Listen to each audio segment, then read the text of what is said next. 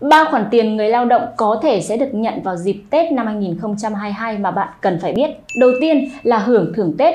Mặc dù hiện tại pháp luật không quy định bắt buộc doanh nghiệp phải thưởng Tết cho người lao động, tuy nhiên nếu như việc thưởng Tết phụ thuộc vào doanh số cũng như là doanh thu của ở doanh nghiệp hoặc là việc hiệu suất làm việc của người lao động hay là việc doanh nghiệp công bố hứa sẽ thưởng Tết cho người lao động thì bạn yên tâm rằng bạn vẫn có cơ hội được hưởng thưởng Tết năm 2022. Thứ hai, đó là hưởng lương tháng thứ 13. Hiện nay thì không có bất kỳ điều khoản nào quy định giải thích rằng lương tháng thứ 13 là gì. Tuy nhiên, một số số văn bản dưới luật thì có hướng dẫn, ví dụ như công văn 560, công văn của Bộ Lao động Thương binh và Xã hội thì có quy định rằng lương tháng thứ 13 là một khoản tiền thưởng. Như vậy mặc dù là không có bất kỳ điều luật nào quy định, thế nhưng lương thưởng Tết hay là lương tháng thứ 13 thì nói chung quy lại vẫn là tiền thưởng và được quy định tại Điều 104 của Bộ Luật Lao động năm 2019. Do đó, bạn là người lao động thì vẫn có thể có cơ hội được nhận lương tháng thứ 13 này. Và thứ ba là 8 triệu người lao động sẽ được nhận quà từ công đoàn